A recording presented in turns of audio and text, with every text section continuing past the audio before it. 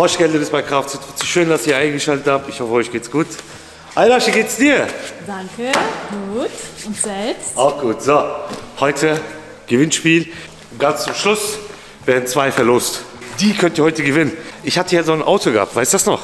Baby M5.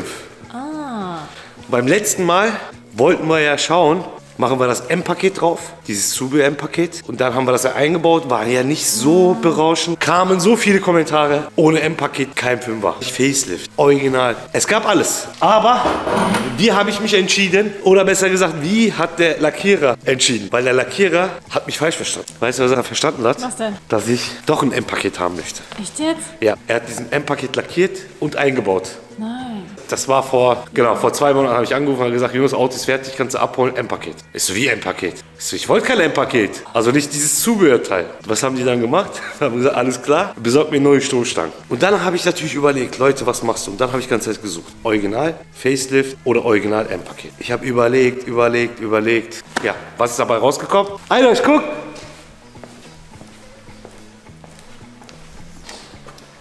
Wir haben es original gelassen.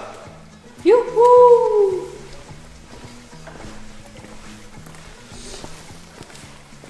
Genauso und nicht anders. Für mich ein E E39 540, der kein M-Paket hat, darf auch nicht Zubehör-M-Paket bekommen. Es ist Geschmackssache natürlich, aber mich hat das gestört. Vor zehn Jahren hätte ich doch gesagt, macht ein M-Paket drauf, egal Zubehör oder nicht, egal Spaltmasse oder nicht. Definitiv. Also ich bin ganz deiner Meinung. Ich finde das viel, viel schöner. Der wurde komplett lackiert, außer die Stoßstange vorne und die Stoßstange hinten. Weil er das M-Paket lackiert hat. Dann habe ich natürlich gesagt, nein, M-Paket bitte weg, mach die Originalen drauf. Und dann hat er natürlich gewartet, bringst du mir jetzt Stoßstangen oder nicht? Ich musste die ganze Zeit überlegen, ich musste mich die ganze Zeit entscheiden. Und dann hatte ich ja selber noch hier Projekte gehabt. Dann war ich, ach, da war ich immer durcheinander. Und dann habe ich natürlich ein paar Autos angeschaut. Dann habe ich gedacht, ey, Leute, viele lassen den wieso nicht original, weißt du? Und deswegen habe ich mich so entschieden und dann habe ich gesagt, packt bitte erstmal die beiden originalen Stoßstangen drauf und später werde ich neue besorgen, genau die gleichen, Originale? originale, kein M-Paket. Ich werde den auch nicht M-Paket umbauen. Nein. Guck doch mal, wie geil aussieht. Der ist jetzt dreckig, ne? Ja.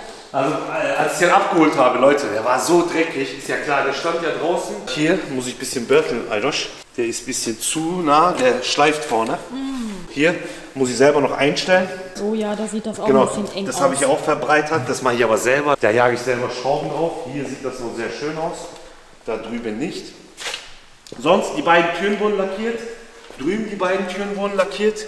Schweller unten wurde noch nicht lackiert. Das werden wir mit den Stoßstangen mitmachen. Und hier die beiden Türen wurden auch lackiert. Ne? Genau. Die Türen auch innen wurden lackiert. Sieht sehr schön aus. Ja, hier da, wo wir das ganze Blech eingeschweißt haben, sieht auch sehr schön aus. Ja, sieht richtig nice aus. Unglaublich, den zu fahren. Ich habe den so vermisst. Ich fahre den seit zwei, drei Tagen wieder. Es macht so viel Spaß. Also wer mich auf Insta folgt, hat das ja schon gesehen, dass der da ist. Und ja, also ich wasche den ganze Zeit mit Hand, ne? Und ich werde den auch nur mit Hand waschen, Alter, so nebenbei. Falls du den irgendwann mal selig fahren solltest, bitte nicht in die Waschstraße. Denk nicht mal dran. Aber so Waschanlage, wo man selber waschen kann, kann man machen. Ja, das Problem ist, hier war Wasser, als ich es abgeholt habe.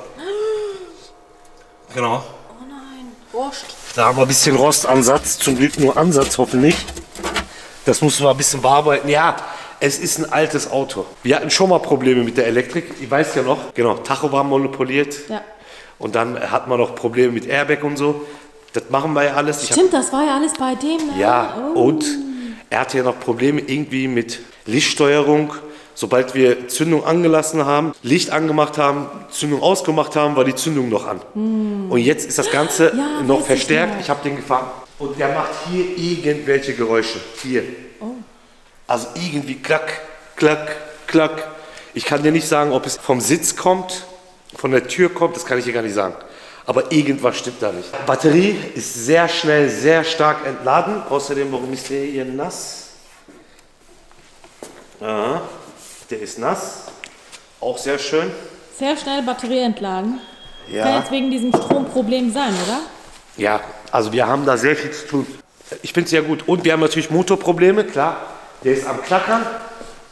Oh, oh. Ja, aber das hatten wir ja schon vorher gehabt. Ja, ja, Alter. das stimmt.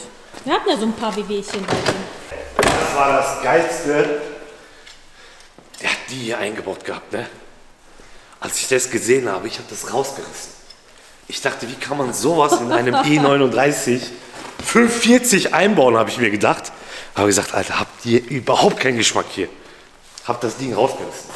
Und die Original wieder eingebaut, ne? Schöne Näschen jetzt wieder her. Motor wird natürlich komplett gemacht. Hier schöne Grüße am Fahrrad. Das gleiche, was wir mit dem Golf machen, alles zerlegen und neu aufbauen, werden wir bei dem auch machen. Aber das machen wir mit Fahrrad zusammen, weil Fahrrad macht das, glaube ich, jeden Tag wie Mechaniker einen Ölwechsel machen. Also ehrlich, Fahrrad ist da so King, das wird der wieso sehen. Und das wird auf jeden Fall Spaß machen, das Ding komplett auseinanderzubauen und wieder zusammenzubauen, damit der auch richtig schön läuft. Das, da freue ich mich schon. Ihr seht aber schon, wo ich hin will. Ne? Ich möchte, dass dieses Auto einfach nur richtig geil zusammengebaut wird und original aussieht. Das Einzige, was hier nicht original sein wird, sind einmal Fahrwerk und die Felgen. Weil der wird ungefähr so aussehen, es sei denn, ich werde irgendwann richtig geile, originale Oldschool-Felgen finden. Die sind doch wunderschön. Ja, die sind ja nicht original. Ne? Echt? Das sind ja Nachbauten. Ja. Und wenn ich irgendwann originale BBS-Felgen finden sollte, Aber die sind doch auch schön. ja, aber wenn ich irgendwann welche finden sollte, dann werde ich das machen. Auch die Scheinwerfer, Erosch, die werden originale einbauen. Das ist ja von Facelift. Wir werden die Originalen für den einbauen. Okay. Das heißt vor Facelift. Wir werden das komplett machen. Vielleicht lasse ich sie auch drin, ich weiß es nicht, weil das gefällt mir schon. Ich versuche den Wagen auf jeden Fall original zu lassen. Der Wagen war komplett nass. Hier, die Dichtung war kaputt. Der ist hier reingekommen. Hier drüben war alles nass. Also wir haben sehr viele Probleme mit dem. Ne? Tankdeckel habe ich verloren. Nein. Ja, den habe ich selber verloren. Echt jetzt? Wie ist das denn Äh, das war so ein schöner Tankdeckel. Die ganzen Leisten werden erneuert, die Scheiben werden wir sowieso erneuern und ich denke da Richtung Doppelverglasung. Baujahr 2000 und wir haben gute sechs Jahre, den als Oldtimer fertig zu machen. Dass ich den echt so um die sechs Jahre, ich weiß jetzt nicht, ob ich sechs Jahre noch YouTube mache, ob der das auch erleben wird. Ist da noch kein Oldie? Nein, der ist ja äh, Baujahr 2000. Wie lange müssen die? 30 Jahre. Bei 2030 werden die halt Oldtimer. Aber das ist echt schön geworden. Ihr habt auch richtig schöne, super Arbeit gemacht. Muss ich sagen. Top. Ey, guck mal. Eidosch, das Ding war ganz schwarz, ne? Wo wir das eingebaut haben. Guck mal, es ist wieder bläulich geworden. Ja, tatsächlich. Guck mal, die Ränder sind dunkel, merkt man. Und in der Mitte ist wieder alles. dann hat Ja, aber egal. Sonne drauf. Das ist aber original, ne? So ist das halt. Da wird ja noch viel sein, ne? Frontscheibe werden wir machen. Ach, das ist so viel. Rückleuchten werden wir auf jeden Fall Originale nehmen. Und auspufftechnisch, Leute, wird der auch so bleiben, ne? Eidosch hinten.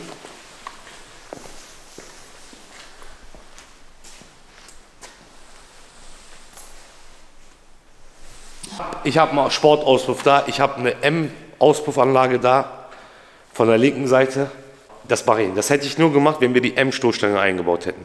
Dann hätte ich auch die originale M-Auspuffanlage eingebaut. Ja.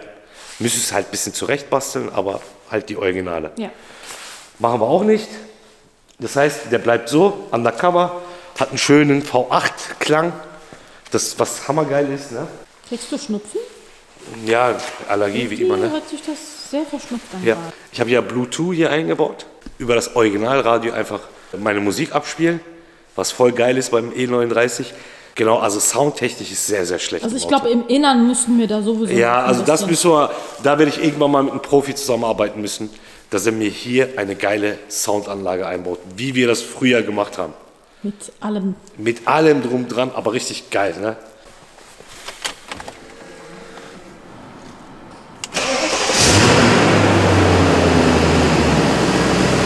Wie der kommt sofort, ne?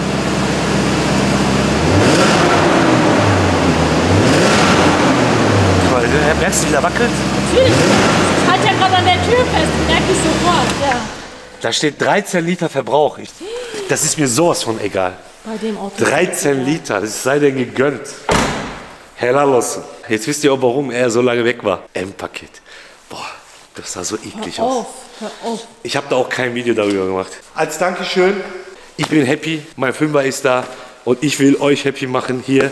Ihr könnt einen Jumper gewinnen. Winterjahreszeit ist da. Kann ja sein, dass der Motor nicht anspringt. Bei meinem da ist er nicht angesprungen, weil wir Motorschatten hatten. Also nicht wegen der Batterie. Aber falls ihr eine leere Batterie mal irgendwann haben solltet, und das könnt ihr gewinnen, dann packe ich das mal aus. Unser Jumper. Popki. hey. Nicht, dass der Dings, der Marketing-Typ uns verarschen möchte und sagt, ihr Pop dir. Pop dir. So, ihr habt nur einen Stecker drauf. Dann habt ihr zweimal USB, einmal USB-C und einmal diesen Stecker, damit ihr Zigarettenanzünder habt. Einmal für schnelleres Laden. Dann habt ihr diesen Anschluss, damit ihr das hier reinmacht. Dann seht ihr, wie das aussieht. Und dann, wenn ihr später hier hindrückt, ist warm, ist der auf Spannung. Geht auch selber nach 10, 15 Sekunden selber aus. Berühren. Dann haben wir Licht. SOS hat er SOS und so haben wir, genau. Und dann beim langen Drücken geht es wieder aus. Sonst haben wir nichts. So, und jetzt? Sonst haben wir nichts. Also wir haben 3000 Ampere und 23.800 Milliampere. Also das ist schon viel. Für den Kleinen jetzt, ne? Mhm. Bei meiner hat 3000 Ampere, also 26.000 Milliampere. Und das ist ein Riesenteil. Jetzt bin ich mal gespannt. So, ihr kennt ja unseren ML, unser 5,5 Liter, also der Arme, ne? Die Batterie ist immer leer und der muss immer hinhalten. So. Ja, ne? So, das Ding ist komplett leer. Hat auch eine riesen Batterie. Also wir haben hier eine 95, also sprich eine 100 Ampere Batterie.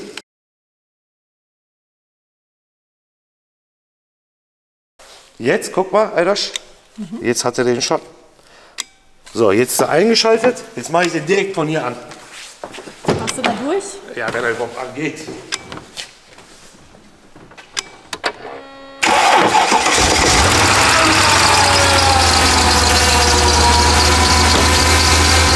Ja. Nicht schlecht. Wir haben noch 92 Prozent.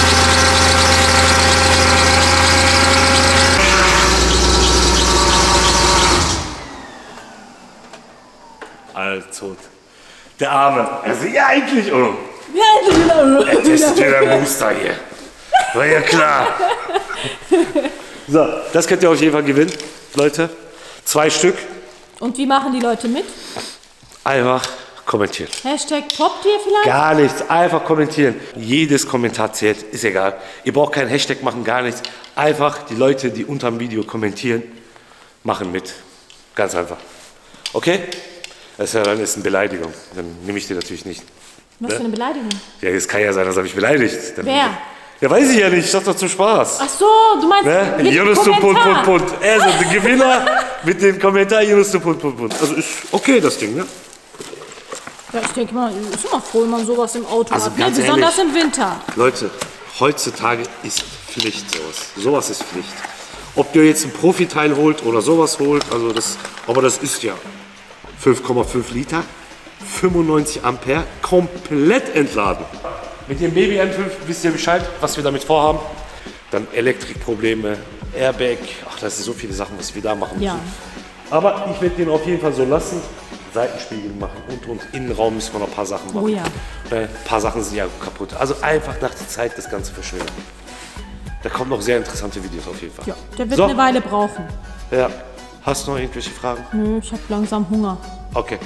Dankeschön fürs Zuschauen. Viel Glück beim Gewinnspiel und wir sehen uns beim nächsten Mal. Bis dann. Rein, ciao.